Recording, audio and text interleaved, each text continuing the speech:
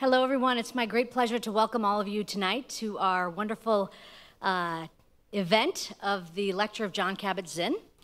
And um, just for those of you who don't know who I am, can we get the next slide? Well, I don't need a slide to tell you who I am. Um, my name is Amishi Jha, and I'm a, a, faculty member in the Department of Psychology here at the University of Miami in the College of Arts and Sciences. And it's just so great to have all of these wonderful uh, faces looking at me. It's, it's an amazing opportunity for us to spend an evening together with uh, a man that I admire deeply, and I know we're all going to benefit from what he's going to share with us tonight, Jon Kabat-Zinn. I wanted to take just a few moments and tell you about what kind of anchors the effort around uh, mindfulness on this campus. Uh, it's called the U Mindfulness Initiative, and it's been around for the last five years or so. Uh, we started this initiative uh, across multiple schools, across multiple campuses of the University of Miami, um, with myself and my uh, collaborator and colleague and friend, Scott Rogers, at the uh, law school. Um, and the three things that we do as part of the U Mindfulness Initiative, for those of you who are joining us for the first time, is offer these public lectures, which we're very happy to do. This is our sixth lecture and the largest, most wonderful turnout so far, so very exciting. Uh, we also do other aspects of community building, connecting with other organizations uh, around the community that, that have activities tied to mindfulness training. Um, in addition, we offer trainings across the uh, campus, campuses actually, uh, for the public to, to take courses in mindfulness, as well as for students and workplace programs and retreats. The last part of what we do, and I would say probably the bulk of what's happening right now with regard to my own effort, is research on the topic of mindfulness training. And in fact, one of the reasons that we were able to invite John for this lecture tonight is that we had, the, for the last two days, we had assembled a sort of a mindfulness summit, bringing together uh, wonderful colleagues from across the globe, actually, from Europe and, and across North America, uh, to investigate and roll up our sleeves and discuss current topics in uh, the clinical and brain effects of mindfulness training. So this is really a, an emerging frontier in uh, many aspects of uh, what science has to offer. So I wanted to mention that the initiative is actually, like I said, across many different uh, parts of the uh, university, including the, the Miller School of Medicine, as well as the College of Arts and Sciences, the School of Law, the Frost School of Music, the Wellness Center, uh, the Counseling Center, uh, business, nursing, education, uh, many different aspects of the university actually have embraced uh, mindfulness and mindfulness training as an important part of what we offer, both from the pra practice side as well as the scholarly enterprise of studying the effects of training. I wanted to say a few things about events coming up. We've got uh, several other uh, activities and public offerings with mindfulness training around the Coral Gables campus through October and November. And if you go to uh, mindfulness.miami.edu, you can see um, all of the mindfulness related events. I also wanted to mention that uh, the way in which we investigate and do research on mindfulness training in my own lab is through brain science. And the university has a new brain initiative uh, which is housed in a, a, new building that is just a little distance from here. And we're having an opening for that building that's open to the public. So if you've ever wanted to see a brain scanner, come on by on November 6th, and you'll get a nice tour, and uh, you'll even be able to see the mock scanner uh, and see what we're up to over there on the really the frontier of brain science. So that's a, a warm wel welcome to all of you on November 6th. I also wanted to mention that our next U Mindfulness public event is a, a retreat with a dear teacher and, uh, and, and colleague and friend, Sharon Salzberg, and that'll be held at the Deering Estate at the beginning of 2016. So I hope some of you can attend that as well.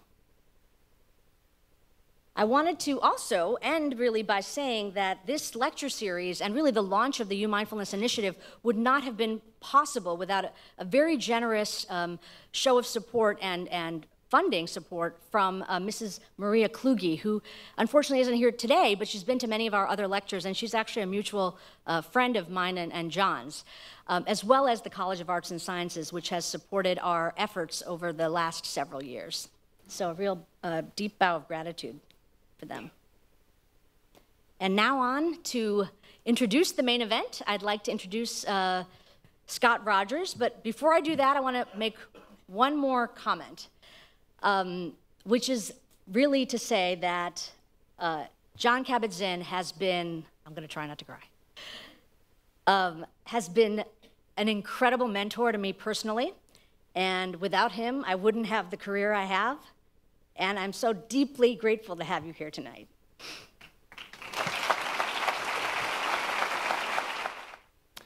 So thank you, Amishi, and thank you for our wonderful collaboration and for creating the opportunity for so much of this to be that's happening to be happening.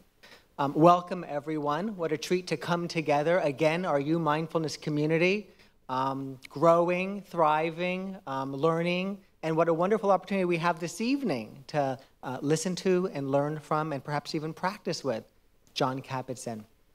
Um, Jon is the um, is a um, uh, professor of medicine emeritus at the University of, uh, University of um, Massachusetts Medical School, where he is also the executive director, founding executive director of the Center for Mindfulness in Medicine, Healthcare, and, and Society. Uh, Jon, as you may know, is a scientist. In 1971, he received his, MI, his uh, PhD at MIT in uh, molecular biology. He's gone on to publish and research in areas connecting mindfulness and the clinical application of medicine and healthcare. Jon is a student of mindfulness.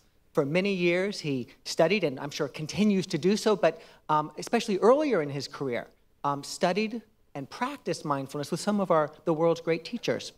Jon is a healer. In 1979, he um, founded the Stress Reduction Clinic at the University of Massachusetts Medical School, saying to um, uh, uh, faculty in the medical school and physicians and medical professionals, um, bring me your sick those who are suffering. I think I have a, a way to share with them something to meaningfully enrich their life and bring them um, ease of suffering. And he did, and so my, the, the Stress Reduction Clinic is, in many ways, um, as, as known as the birthplace of mindfulness-based stress reduction, known affectionately and for ease of and convenience as MBSR. And um, indeed, as I think you may know, mindfulness based stress reduction is considered among the gold standards of mindfulness trainings and programs throughout the world. Uh, it resides in medical clinics and centers um, nationally and internationally, more than 200 of them. And I suspect that many of us are here today because of mindfulness based stress reduction that there's something about it directly as a student of, or as a teacher of, or somebody researching, or maybe all of those things, or as somebody for whom mindfulness has actually become relevant in our lives through the materials we've read, or from what we've learned about mindfulness because of the way mindfulness based stress reduction has become so immensely important in the fabric of our society. And so we could say that we here share one degree of separation. And I suspect that Jon, I don't know, is sitting there saying, No, Scott there are no degrees of separation among us. And so Jon is um, a writer. He is the author of a number of books, uh, uh, Full Catastrophe Living, which is a 1991 treatment of mindfulness-based stress reduction, sharing with us what it is all about. It's come out in another edition, which is a very important read. Uh, a few years later, he came out with Wherever You Go, There You Are, and a wonderful introduction to and treatment of mindfulness, uh, a national bestseller a decade plus, he came out with Coming to Our Senses, one of my favorite books, and I've read and I love all of your books, but that one touches me especially, Jon. And it also has an, autobio uh, an autobiographical flavor to it, which I think is especially compelling when somebody as wonderful and interesting as Jon shares a little bit about who he is and offers us that connection. Um, and also with his wife Myla, a wonderful book on mindfulness and parenting called Everyday Blessings. And more recently, a book called Mindfulness for Beginners, which is such an extraordinarily important and meaningful introduction to mindfulness that it's required reading in two of our classes at the law school. Um, Jon is also a teacher, as you may know. He teaches many, and the number of those he has taught and the number of groups is way too many to go into, but athletes, business leaders, CEOs, doctors, patients, parents, therapists, um, and when he moves into a territory and he introduces mindfulness into a domain because he's groundbroken in so many areas, it's as if the area opens up and says, Welcome, mindfulness has a place here. And then soon enough realizes because of the way he teaches and the nuance and the subtleties of what he shares and the intuitive sense of it, that in fact mindfulness was always there, just not necessarily noticed and realized and appreciated for what it offers. In fact, in the law, an area that's of particular um, um, sentiment to me, in 1987, long before anybody else ever did, Jon shared mindfulness with a group of judges in the Western District of Massachusetts. Judges one of whom was so inspired, they were all inspired, but one of whom was so inspired that he went on, his name's Richard Connon, he went on to actually have mindfulness be a part of the jury instruction that he shared with the jury in a case that was so complex, he felt like they really needed to pay attention. And so if you read the record, the actual record of this case says, this is the judge saying to his jury, there's this thing called mindful meditation. It's a process of paying attention moment by moment. And I want you all, when you take in this evidence, this volume of material, to pay attention moment by moment. And so the rippling of his teaching, teaching a judge who teaches a jury mindfulness. Jon is a poet. For those of you who have ever heard him speak, if you've ever read anything he's written, then you know he, it is from the, it is the, that of the voice of a gifted poet. And how else, perhaps, could somebody share across the world in such a meaningful and enriched way, transforming and inspiring lives, the work that he has and continues to do, and many of us do, as a um, measure of thanks and gratitude and further offering, than a poet? Jon's father was a, an extraordinarily um, wonderful um, researcher and scientist. His mother is a gifted artist. I cannot imagine uh, another human being so fully and beautifully embodying the marriage of art and science. Please join me in welcoming Jon Kabat-Zinn. Well, I don't know quite what to do after an introduction like that. It was uh, very, very touching, Scott, and um, thank you. And thank you for coming out on Friday early evening at the end of a long week. Um, and thank uh, Amishi, thanks to Amishi Jha and Scott and uh, the entire, you know, sort of uh, administration of this university for um, creating such a beautiful home for this, this kind of work and understanding the, the potential repercussions of it throughout the university. This is like actually a, a cutting edge gesture uh, that really marries a lot of different uh, streams with which universities have been associated for hundreds of years uh, and are bringing, you know, sort of to life a kind of confluence between rigorous scientific investigation and the deep inquiry into the nature of who we are as, and what we are as human beings through the arts, through the humanities, through music, through everything. And it's a sort of uh, unifying wholeness, so to speak, that uh, very often gets ignored as we kind of fall into our particular institutional silos and self identify in a sometimes limited way with the, the, the domain of potential interest or the deep question of what it means to be human.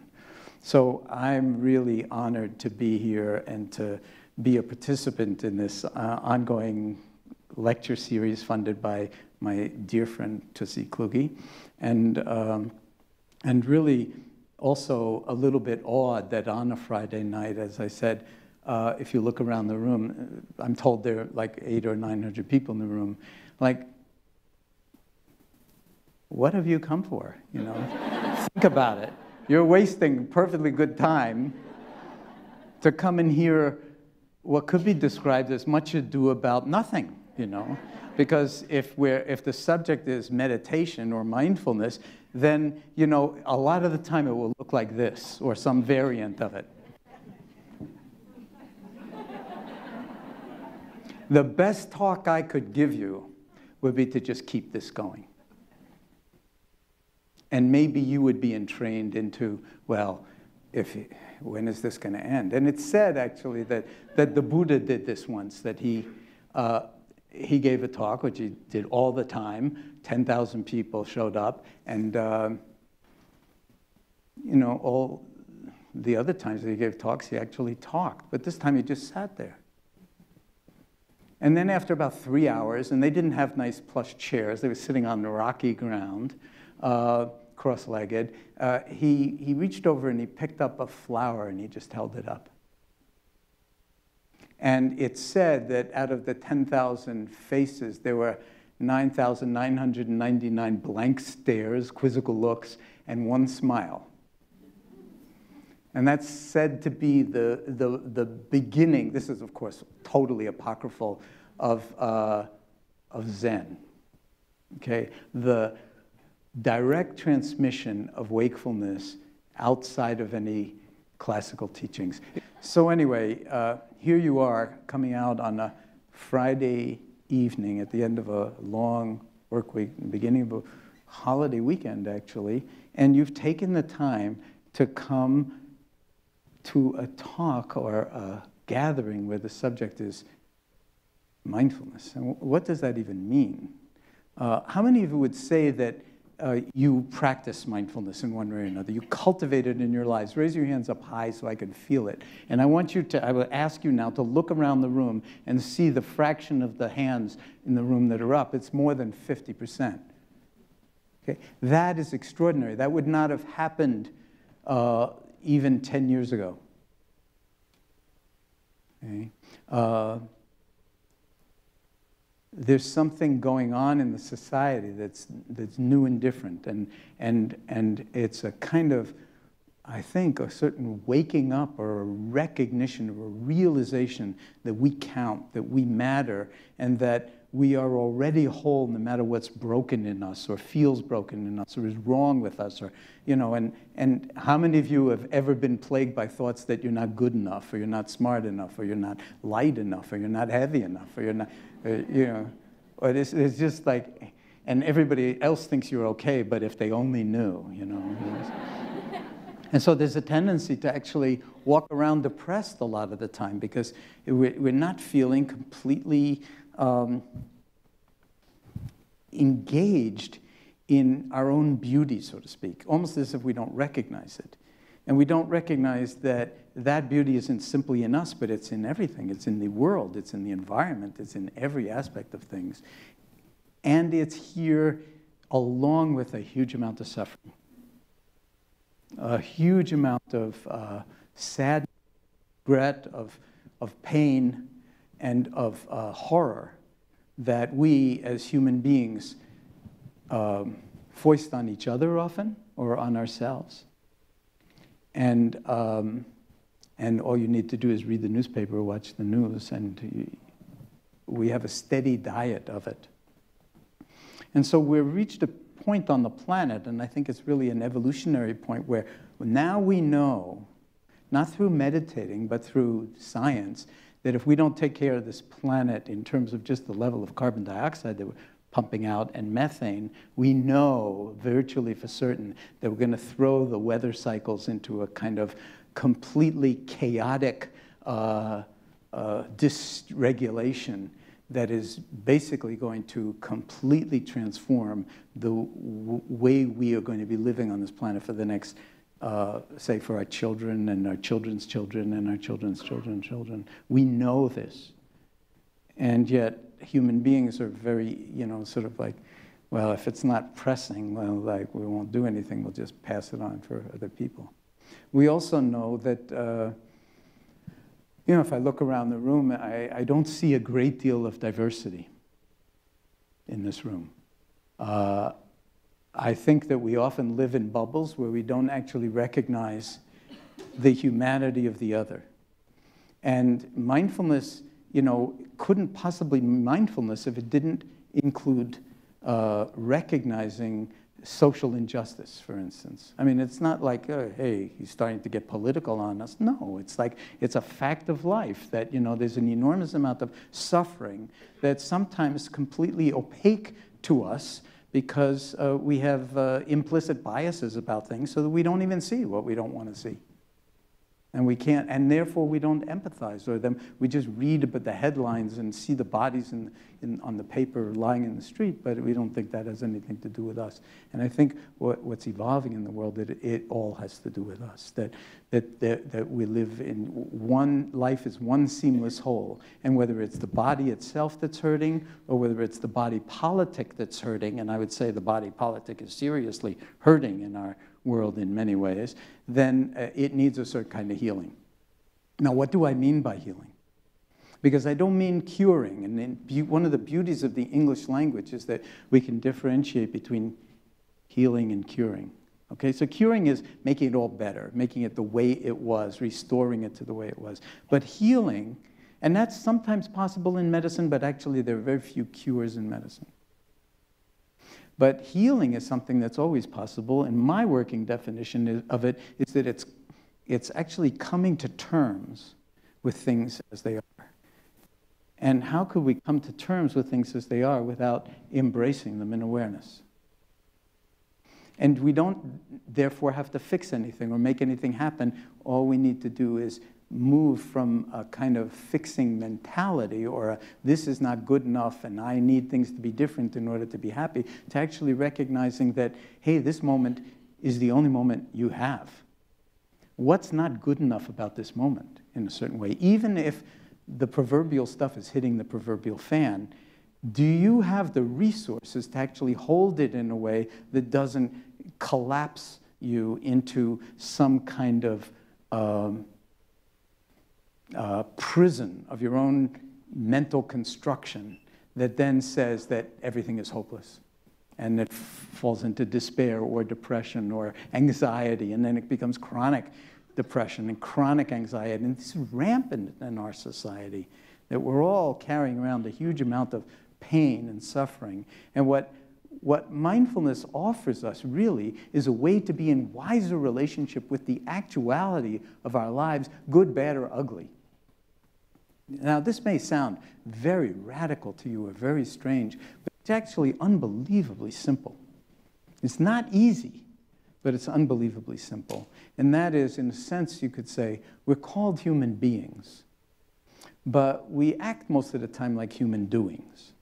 There's a cliche. But if you start to pay attention to, say, where your mind is most of the time in the day, you'll discover. Can I go a little further? Or, oh, I see myself. You'll discover that um, that a lot of the time you're not here. This could turn out to be a fundamental human problem. That most of our lives we're not fully present. We're just not here. Where are we? Well, in English we say we're lost in thought. Underscore lost. Like really lost, out of touch. Losing our compass, so to speak, or our, you know, sort of true north, as some people call it. We're just out of touch. And a lot of the time, when we're lost in thought, uh, what are our favorite domains of thought to be lost in? What would you say? What's one of your favorite domains? There are two I'm thinking of. The past. The past. Uh, so, how, you know, and it would be really interesting to just as an experiment be mindful of how much of your day, just say tomorrow or this moment, um, how much of the time you are in the past. Okay? Just to observe it. Of course, the part of you that's observing it is in the present because that whole past is actually unfolding in thought in the present moment. It's a simulation of the past, it's not the past. Okay? It's just thinking. But it takes us out of our body. A lot of the time we're only up here, you know, it's like out of touch here, except for certain key moments. And when we're not in the past, where are we? If you just think about where, where your mind likes to hang out. In the future, right? And the two favorite pastimes worrying and planning. Hmm? And there's nothing wrong with planning, and there's nothing wrong with worrying, except that it's a lot like driving your car with the brake on. Um, have you know, how, any of you sort of chronic worriers and willing to admit it? I mean, you know, it's like, it's like, and and uh, Mark Twain had an interesting thing to say about that, which you probably heard, and that is he said, "There's been a huge amount of tragedy in my life, and some of it actually happened." And we have, again, in English, the phrase, uh, you know, I, died a thousand deaths, you know, because we're continually generating these narratives about what's wrong that aren't actually true. And what's wrong with us, what's wrong with other people, I, I would be happy. I'd be happy to even inhabit the present moment, maybe even meditate, if only the present moment wasn't like this. I don't want this. So when you fix the world, then I'll be a good meditator. Well, it ain't going to happen. We need to come to terms with the actuality of things, which doesn't mean liking it, doesn't mean disengaging from social justice or from action or anything like that, but it means letting our doing come out of being, come out of a core constitutive, if you will, wakefulness that's native to us. Mindfulness is nothing other than awareness, pure awareness. And if you ask any neuroscientist, what is awareness? And we have some you know, Clifford Saron is here from uh, august neuroscientist sitting next to Amishi uh, from uh, University of California, Davis. Um, and if you ask a neuroscientist what is uh, awareness, uh, I don't think we're going to get an understandable answer, right? Uh, and, and then some people will actually start to talk about neural signatures. We spent two days, uh, a, a neural signature in the brain of awareness or of mindfulness or whatever. And, and, and please understand that the consensus among really top-notch neuroscientists is that the brain just doesn't work that way. But a lot of people will say, well, here are the pathways through which mindfulness works and connectivity and so forth. But it's so complex. I mean, just think for a moment. With the next time you think there's something wrong with you, just think that inside your little old head, underneath your little old cranium, is the most complex organization of matter in the known by us universe. And for the most part, like for most of us, the eyes see, the ears hear, the nose smells, the mouth tastes, the body feels, the heart keeps beating. You know, so whoops, forgot, dead. No, the heart doesn't let you go anywhere near any mechanism to keep the heart going. It's like you're so unreliable, you're so mindless that, you know, well, the biology took care of that a long time ago. The really, so, and the same with breathing, because, you know, breathing is often used as a kind of anchor for attention, often in, in, in awareness. So that people can easily come to misconstrue that mindfulness is about breathing, you know, because breathing is spoken about so much. But it's not about breathing. Breathing is what you would call an object of attention. Okay? And it's the attending that's important, not the object. It's the attending.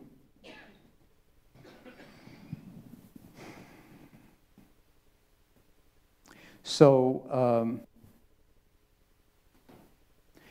a lot of time, if it's zoning along on autopilot, lost in the past, lost in the future, planning, worrying, driving our own vehicle with the brake on and so forth, we're burning out, burning up, or just using an enormous amount of energy to get someplace else, forgetting that, well, where are you going to get that's better than this moment because it's the only moment you ever have? Are you following me? That you're alive now. It's like, oh yeah, but, but this now is boring. I think another now later on when, when we get out of the movie or whatever, it's like will be better, or when I get married, or when I get divorced, or when the kids get out of school, or whatever it is. There's always some better moment that is when it's all going to come together for us. And this sort of radical perspective is there is no better moment. This is it. Sorry. the flower. Okay? The, the conceptual mind could perseverate on this for 100 years and never get it. But, you hear that? Okay, that's because your ears don't have to worry. They just work, you know? Long before the brain starts to talk about, oh yeah, Jon clapped, you hear that. So it's the bare actuality of the sound. And when we cultivate the sort of muscle, if you will, of mindfulness, when we begin to train the mind or train our attention or train our capacity to inhabit awareness, it's coextensive with the body. And in the Buddhist teachings, which is like, again, I mentioned the Buddha before, uh, but this is not Buddhism. Okay, is a very interesting relationship to Buddhism because Buddhism has probably the most sophisticated and elaborate articulation of mindfulness in the world. But mindfulness is awareness, it's universal. It's like You know, everybody has it, even, you know, sort of illiterate societies. I mean, everybody has a way of being in wise relationship with the actuality of this moment. Say the Eskimos, the pygmies, you know, everywhere on the planet, it's humanity expressing itself and finding ways to be in wise relationship with the inner and the outer, with the environment, with the, each other, with others, and with the forest if you're living in the, you know, forest that's being completely degraded, uh, so that the pygmies now really can't, quick can't survive. Maybe they were all gone uh, from the, you know, Congolese forest. And, uh, you know, and the, the Eskimos are driving snowmobiles and, you know, eating cereal out of boxes because, you know, they've lost the hunt. So Thoreau, who I love to quote, um, is famous for having said in Walden, and by the way, Walden uh, is itself a, a kind of rhapsody on mindfulness. The whole thing is about the beauty of the present moment. And he talks about sitting in his doorway for the entire day, doing absolutely nothing as the sun passes across the sky, and commenting that I, anything I could have done would be far less valuable than this. And it's like really radical in the 1830s, you know. Uh, and he said about going to Walden, I went to the woods because I wished to live deliberately, to front only the essential facts of life and see if I could not learn what they had to teach, and not, when I came to die, discover that I had not lived. And I think that happens a lot. I think that happens a lot, that we like forget, we get on some kind of train that's driving through these moments to get the better moments, and then all of a sudden you're at the end of your life and you go, whoops, I got the whole instruction set wrong. Even getting everything that I thought I wanted, there, there maybe were costs that I was ignoring relational costs, costs with children, costs with all sorts of costs, or maybe just health related costs, you know, driving, driving, driving ourselves to get somewhere else, and in the process, not realizing that we're always already where we, where we are. And that it is workable. I'm not saying it's okay or there's nothing wrong. The people who come to MBSR, they come with every conceivable medical diagnosis you can imagine, and including people who can't even get a diagnosis out of the healthcare system. And we take everybody who's willing to do a certain kind of work. And in my experience, the work of mindfulness is virtually the hardest work in the world for us as human beings. Somehow being present is very, very difficult for us. And so we have to actually exercise the muscle through training, through intentional practicing. And, and, you know, and so that a lot of the time just looks like this, or a cross, hello, a cross-legged version of this. It's like you do something, you know, it's completely, you know, weird.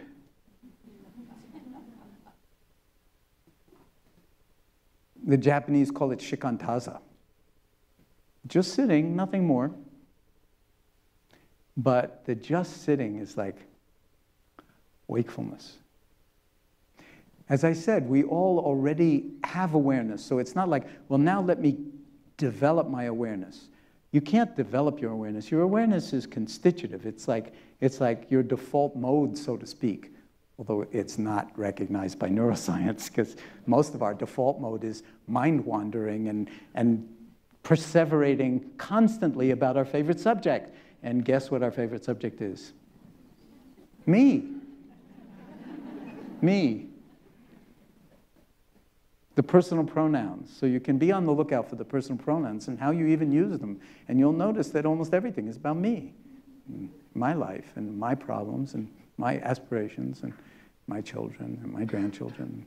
And it's all wonderful. I'm not knocking that, except that um, it's too small. That the, whoever we think we are, uh, in actuality, we're much, much bigger. So when we take our seat, and this is just, you know, in a sense, one way to do it. You could do it lying down. How many of you practice the body scan, lying down meditation? It's a very fabulous form of meditation because I'm assuming most of you, like in Miami, are kind of like everybody else. You sleep at night to some degree or other. if you're really stressed, of course, you don't sleep at night. That's a whole other story. Uh, but that too can be regulated by beginning to reclaim your moments. Maybe your body doesn't need to sleep at this particular moment. Well, here you are lying in bed. You could actually drop in on yourself and fall awake. Instead of, I can't stand this, I got a big presentation tomorrow, and, you know, and getting really burnt out, of, uh, you know, bent out of shape about it. What about falling awake? So you have to be delicate with this because if, if you're getting into bed, so let's say when you get out of bed, perfect opportunity, before you get out of bed, just be awake to the fact that you were lying in bed and you're not asleep anymore. Wow. And see if you could put your mind in your body. See if you could do it right now, sitting. It, you just like, you don't have to shift your posture even. You don't even need to sit up like a meditator. Just like, can you let your awareness embrace and fill and suffuse the body? And the answer is, of course you can. For a fleeting fraction of a second, and then we get distracted, you know, or onto something else. So, but what if we could actually inhabit awareness as a space, an n-dimensional space that you actually, that's your default mode. You live here. And that awareness would not end at the boundary of your skin, by the way, so it would include others. And it would include the emotional fabric in your family, and it would include the larger world, as I was suggesting, and people that we ordinarily don't see or disregard because they're different from us. And the heart would be part of this inclusivity because in all Asian languages, by the way, speaking of mindfulness, the word for mind and the word for heart is the same word. So if you're hearing the word mindfulness and you're having some kind of clinical, sort of conceptual notion of mindfulness, uh, you have to hear the word heartfulness or you're not even understanding it. And it's not a concept, it's, it's not a philosophy, it's not a catechism, it's not a belief system, it's, it's a laboratory, it's a way of being that is experimental, that you can play with it. You can see, okay, well, can I feel this breath coming into the body? Or the body as a whole lying here in the bed, or the body as a whole sitting here on your chair, or standing if you're standing. There's no problem. I mean, you, was, you could be standing on your head, and awareness could care less. It's like you just experience what's happening. Is there there's emotional turmoil? Fine. Okay, so the, the awareness just holds the emotional turmoil. It's like it's like the sky. Everything, you know, stars, moon, sun, clouds, weather patterns, all unfolds within the embrace of sky, so to speak, or space. And so the awareness is simply the space, the knowing space in which everything unfolds. And not only the knowing space, the, the not knowing space too, like knowing that we don't know and not necessarily believing our thoughts because our thoughts are mere like secretions in part of the mind, but you know, there's emotional intelligence. It's not all conceptual or cognitive. And there's somatic intelligence. And this is already our inheritance. It's not like we have to get it, it's here. The question is, can we inhabit it? So you pra- we practice. You know, it's like you have a big music school here, and they say, How do you get to Carnegie Hall? You know, you know the answer, right? Practice, practice, practice. So if you hear all this talk about mindfulness, it's not a concept, it's not a philosophy, and it's not like, well, every once in a while I try to catch a breath or two. It's like much more fundamental than that. It's like, can we, and then the real meditation, I was saying to somebody, you know, people used to ask me, well, what's your meditation practice like? How much do you meditate? How many hours? Usually it's framed like that. How many hours a day do you meditate? And I used to say two, and they'd say, well, when do you do it? And I'd say, well, I you get up at four or five in the morning, and I have that time to myself. And before the internet, you know, there were even fewer temptations to, you know, to really have that time by myself. Uh, but okay, but that, like that's the way we conventionally think of meditation. But you know, as my own practice has developed and as I've gotten older and as my life is transformed and so forth, uh, I, I, now, like, I don't even know how to answer that question. Because this is mindfulness. You're hearing and you're knowing that you're hearing.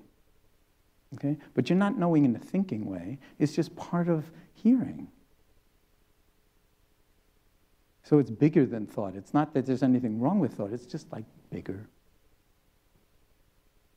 And, uh, and I'm standing here and I'm talking and I'm breathing, and there's all this complexity of, like, you know, uh, the trillions of synapses that are allowing me to watch this. I mean, move my lips and wag my tongue in such a way that I'm not biting my tongue and I'm moving the air out of the lungs in ways that I have no idea how this is happening. And in the process, creating airwaves of sound that actually are decoded in your ears as, a, as one seamless, grammatically con, you know, continuous sentence. How does that happen?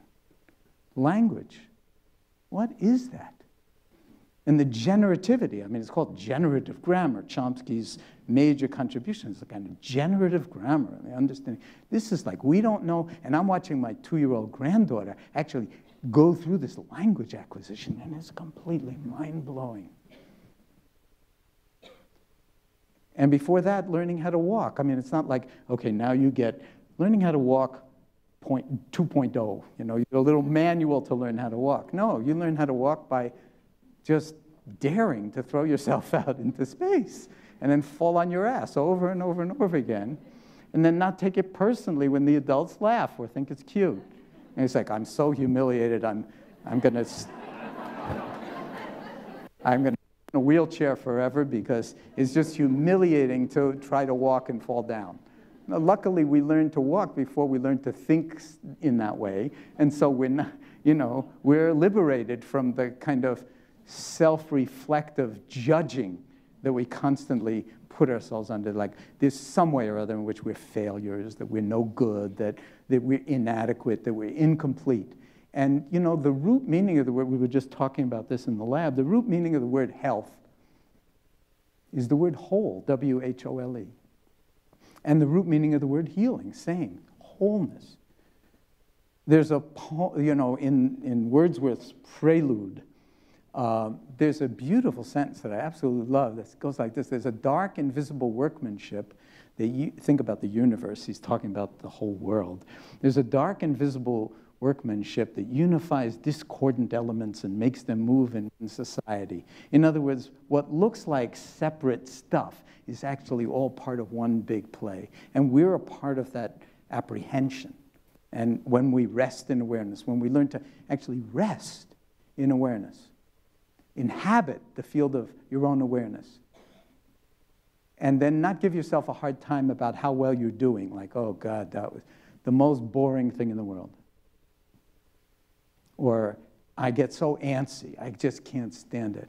And you see, all of these are kind of little sort of pebbles in the road. They're like trivial, you know, aspects of something that's incredibly profound. And sometimes, you know, people get tremendous benefit from actually meditating with a whole group of people so that you feel fidgety, you're too embarrassed to actually move. So you're like, well, I'll just have to accept the fidget, that my impulse to fidget, but I won't fidget because they'll think I'm a bad meditator. So this is all, like, the whole thing is just a narrative you're telling yourself. The whole point is to simply put the welcome mat out for everything, everything that arises, and it all becomes the object of your attention. And you can have what we call open presence or a choiceless awareness that doesn't say, oh, yes, I'm like really in touch with my breath. You know, notice the personal pronoun, my breath. Um, my posture, don't I look like a meditator? Uh, yes, and uh, a little wise and, you know, the very calm. And, you know, this is all thinking, thinking, thinking, thinking. And what we're peeling back is a kind of deeper simplicity that's the essence of who you are. I mean, the Buddhists would call it Buddha nature. But let's not forget, I mean, just because I've now invoked the Buddha three times, the Buddha was not a Buddhist. I sort of, sometimes I think I alienate some of my many Buddhist friends by continuing to say that, but it, the fact is it's true. Um, the Buddha wasn't a Buddhist, uh, and the word Buddhism was actually invented by Europeans who came and didn't understand what they were seeing and ma making contextual assumptions. But the point is that it's, it, what the word Buddha means is awake. People used to go up to him apocryphally and say, Are you a god? Because how many of you have been around the Dalai Lama? Anybody been near the Dalai Lama? You know, people start crying in his presence, even in like a stadium when he comes in. He has that kind of effect on him. And in Tibetan, they actually refer to him as you could say his nickname is Kundun. There was a movie called Kundun with about it. But Kundun means presence. He's pretty awake. And it has an effect on people. When you come in touch with somebody who's really awake, you start to cry or just feel. I mean, I've sat in rooms with serious scientists who are very aggressive and uh, always, not you guys, but you know who really have differing opinions and ideas held very strongly about their science and about who's right and who's full of it and all of that. And you, you know, you spend two days with the Dalai Lama and everybody's like a pussycat. They're, still, they're still rigorous, but they are much more heartful, much more compassionate, much more spacious, because that somehow is allowed to emerge in his presence. But he would say, eh, just a simple Buddhist monk, he says that all the time. He means it. It's that his presence is no different from your presence. So it would be a real dishonoring of yourself to not recognize that this is intrinsic to your nature as a human being, and it's a whole domain that just doesn't get any airtime in school.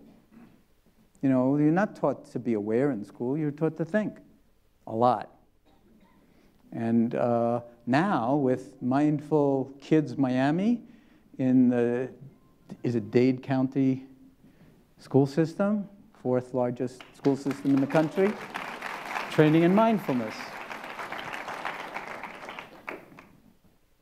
Uh, so this is something that's now infiltrating our whole culture in ways that were inconceivable really 40 or 50 years ago. I started this mindfulness-based stress reduction 36 years ago. So this is half of my life I've been doing this work. And with the intention from the very beginning that if this worked in one clinic, in one hospital, that it would actually spread around the world. Because people were falling through the cracks of the healthcare system falling through the cracks and not getting satisfaction from traditional medical care. And there's one thing that was left out, and that's what we now call participatory medicine. It's like, hey, it's not just the brain that's totally fantastic, it's like the whole organism is totally fantastic. It's a naturally healing mechanism that we have, where I don't want to use mechanism, but universe that's deeply ingrained in our capacity. So, so to ignore that and just do things like an auto mechanics medicine to fix them when you drive your body into the shop and get it fixed or replace the carburetor or whatever. Uh, and I'm not knocking that when it's necessary, but when you get the person to participate, even in the rehabbing from, say, a hip surgery or a knee surgery, something like that, the more you participate in that healing, the faster it goes, the better it goes. And, and we're beginning to get grants now in mindfulness to look at the ongoing long-term effects of this kind of practice on aging.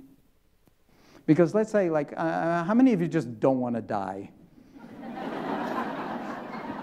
you know, you'd rather not, and not now, certainly not now. So, uh, and we all want more time, don't we? I mean, do we ever have enough time? I mean, I want to get to a guided meditation, and here I am. I could say this is all one big guided meditation, but I'd like to get to something a little more formally guided meditation before we close, and then have Q&A. But uh, before we do that, uh, you know, you could say that the, uh, the entire sweep of this is really a meditation. It really, truly is. We're inquiring together about the nature of our own experience, moment by moment by moment but it's, it's really hard work. And so what we've shown in the past 36 years is that regular people, regular Americans falling through the cracks of the healthcare system. And that was in 1979 when it started, like where there were cracks in the healthcare system. Now they're like Grand Canyons in the healthcare system. Even with uh, the Obamacare isn't really healthcare reform, it's health payment reform with a little sort of healthcare reform. But when we take responsibility for our own well-being as a complement to whatever medicine can do for us across the lifespan, the potential is there to influence our bodies and our hearts and our minds in ways that have profound biological consequences. And that's now going to be studied in terms of the biological consequences, in terms of aging, of mindfulness training. And uh, if you want to have more moments, well, why don't you try to inhabit more of them rather than needing more time? You got plenty of time. You got nothing but time. Everybody gets the same 24 hours. To a first approximation, there are an infinite number of moments in those 24 hours. So, could we actually reclaim our timeless present moments? Then, if you live in that kind of a way, underscore live, fully embodied, wakeful presence, or some approximation thereof, because we're always moving in and out of it then, as Thoreau said, dying is not going to be a problem because, you, because you'll have lived fully. But if you don't live fully and you zone on along on automatic pilot and you're lost in thought a great deal of the time in emotional turmoil, and then you wake up to the fact that, wow, I treated my kids horribly when I was young because I wasn't, I thought I needed to be doing this stuff, and I, my relationship, I didn't tend the gardens that were entrusted to me, as one great Spanish poet said then um, there could be tremendous regret at the end. So, my advice die now, get it over with, and then the rest of your life, seriously, I'm not joking, the rest of your life is like a gift. And I'm not saying it's all pleasant. I didn't call my first book, I mean, the, incre- the incredible pleasure of living. I called it full catastrophe living after Zorba the Greek, you know. Because if it's, you know, if it's not one thing, it's going to be another thing. And it's like it doesn't all sort of, you know, uh, work out to your small-minded desires. Sometimes it does, but sometimes there's just enormous grief, enormous pain, enormous loss, enormous uh, rending, trauma in the family, things that cannot easily be papered over and that require us to actually step in rather than recoil and discard through practice, because this is easy to say, not easy to do, discard our implicit, implicit intrinsic uh, um, uh, impulse to fix it or make it better and, and recognize that we do not know how this is going to unfold. If we hold it with a larger heartful integrity, that maybe actually beautiful things will unfold. Maybe healing can unfold inside the body, inside the family, inside the world. So that's a kind of big, you know, sort of. Uh, perspective to hold. But when you anchor it in stillness and in silence, then in some sense you're unifying the inner and the outer, the, the personal and the impersonal, uh, and you're cultivating a kind of uh, wisdom and uh, empathy that has integrity, that has uh, a kind of profound ethical foundation, MBSR, don't forget, was started in hospitals. Now it's in businesses. It's all over the place. Uh, but uh, the ethical foundation of MBSR is the Hippocratic Oath. What is the cardinal principle of the Hippocratic Oath? First, do no harm. So it'd be nice, you know, if there were a Hippocratic Oath for business or for banking. How about for banking? or how about for um, you know, investment, investment banking? Uh, or for uh, but I tell you, I, I, gave a talk two weeks ago at the Harvard Business School to 200 like super high-powered executives who do everything from run the FBI to the, the army to this and that and everything else. And they got bodies, they have minds, they hurt, just the way we do. They're fearful. Their minds are always in the future in the past. They want this stuff. Okay? But need to emphasize the ethical foundation. This is for well being, this is for healing, this is not for harming. This is, and for recognizing how easy it is when we're mindless to actually harm.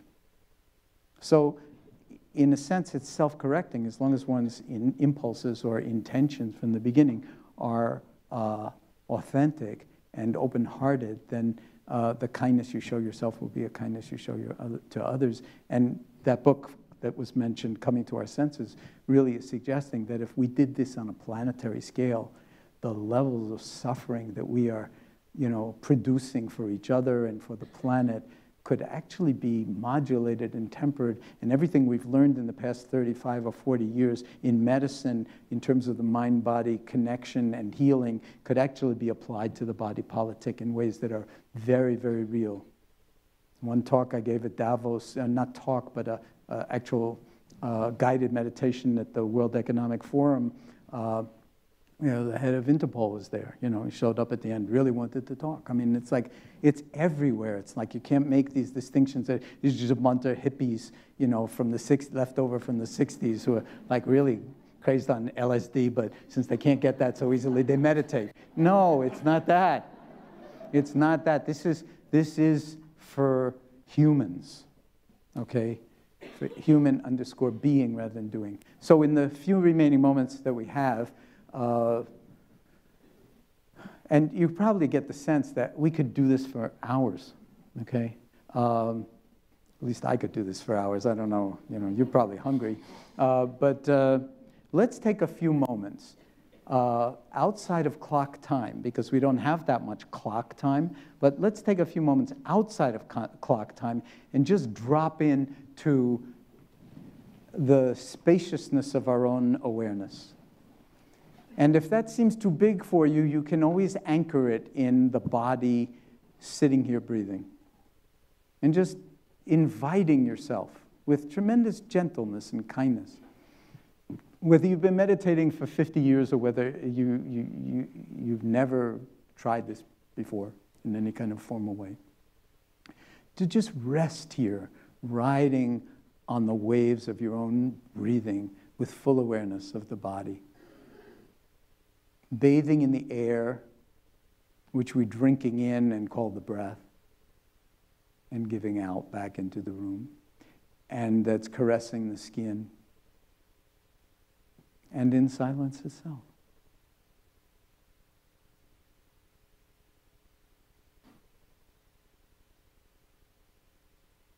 And just seeing if you can rest in this awareness. And if you're brand new to the practice and you find yourself continually being lost and carried away by thinking or irritability or the sensations in your body, just every time you notice that you're not on the breath or in the body or in awareness anymore, you're already back, but escorting your mind back to the belly or back to the wherever the breath sensations are most predominant in the body. And if the mind wanders a thousand times, then each time with kindness and without judging yourself, just noticing what's on your mind, because that's perfectly valid. It's just another moment, mind moment, and bringing it back to right here. The whole of you sitting here, not just your body, but your heart, your mind.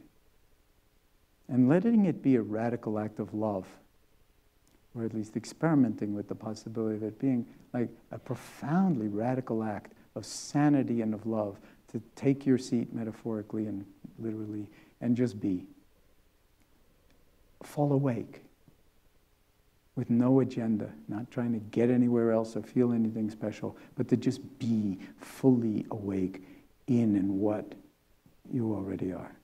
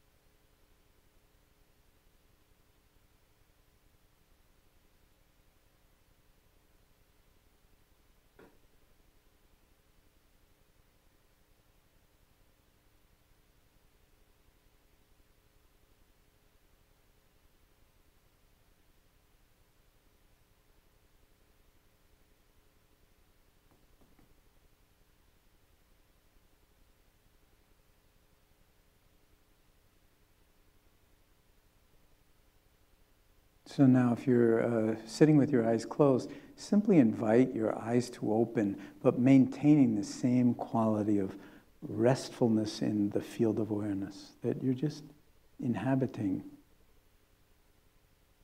wakefulness itself. And you'll discover that you can be aware of the body sitting with the eyes open, the room, the shadows, the light, the feeling of people on either side of you, in front and back of you. So, in a sense, like I, I could ring the bells and say, okay, I could ring some bells and say, okay, this would be, the meditation's now over, but I won't ring the bells. because the meditation's not going to ever be over. Seriously. Because life is not going to be over as long as it's not over. So we have priceless opportunities, really, moment by moment, to remind ourselves and rebody ourselves. And part of it, and only a part of it, is if you care to do it, but I highly recommend it as a discipline. And you can try it for, say, 20 or 30 years, and then if you don't like it, give it up. But, uh, but for the first 20 or 30 years, as the mind argues with you, just do it anyway. Uh, it's really a non doing. And I didn't really talk about like all of the evidence in support of mindfulness nowadays that um, is being marshaled to, um, in some sense, understand the mind better and the nature of mind and the brain and the nature of our interconnectedness and, and then healing of different organ systems and so forth, I will simply say that uh, this, there's never been a better time to do science on this seeming nothing because not only do we have the field of neuroplasticity now, which has been demonstrated that the brain itself is an organ of continual experience and it's continually morphing its, its own structure in relationship to experience. Trauma can actually harm the brain, but therapies of various kinds and physical activity and even what you eat and certainly how you care for the present moment can actually move things in, in a direction of like really uh, making sort of all sorts of changes in the uh, activity and even the structure of the brain. And we're just beginning to tease these things out. That science is in its infancy. Another science in its infancy is called epigenetics. That is, it used to be thought that whatever you, genes you got from your mother father, that's it for you, forget about it. And now it turns out that that's not true, that by practicing mindfulness, for instance, you can influence the upregulation, it's called, and downregulation of potentially hundreds of genes that are not just random genes, but many of them have to do with uh, cancer, what, are called proto-oncogenes or inflammatory genes. And so, again, it's in its infancy. We can't make definitive statements about it, but the evidence is beginning to suggest that this is a powerful practice for transforming your biology as well as your psychology. And then one element here, Cliff Saron's work with uh, Elissa Epel at the University of California uh, San Francisco, uh, uh, telomeres, which are the kind of shoelace-like tips of your chromosomes. You know, they're, they're, repeat subunits of DNA. And every time the cells divide in your body, your body has something north of uh, trillions of cells, several trillion cells, all from one fertilized egg, by the way. It's like so deep out to the mothers in the audience who pull that off. We still don't know how. Um, that uh,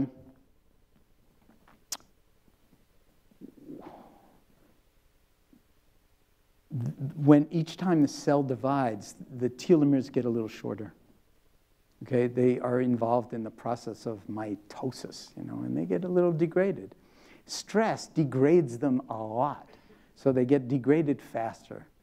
And uh, when you run out of the shoelace, your cell, that cell goes into senescence, what's called senescence. In other words, it's basically on the way to being dead. And what and research by uh, by um, in what's called the Shamatha project by Cliff Saron and his collaborators and other people are now showing that these telomeres can lengthen as a function of meditation practices. Okay? So if you really want to uh, live longer and you find like the present moment really annoying, uh, you have an added incentive that you'll make your shoelaces longer, your DNA shoelaces longer, and maybe live longer. But maybe living longer is not the most important thing. Maybe it's like living fully is the most important thing. Living mindfully, living heartfully, living healthfully, and it may turn out they're all synonymous. Okay? They're all different doors into the same room. And so one size does not fit all, and some of you may be drawn to one practice or another, but I would encourage you to take very seriously the, the challenge or the possibility of finding a way that resonates with you to live your life as if it really mattered. Because, as it said in the title of this talk, it does. And I like to say more than you think, and more than you can possibly think, because thinking only carries us so far. So I want to thank you for your attention. We've barely scratched the surface of this, uh, but I want to leave some time for Q&A if you'd like to have a dialogue like this. I won't necessarily be able to answer your questions, but I'm certainly happy to entertain them for a little bit, and then, and then we'll move from there. So are there microphones for people who want to ask questions? Okay, so I would suggest, are there runners or should people just line up at the mic? Just go to the microphones in the corridors. In the, so thank you.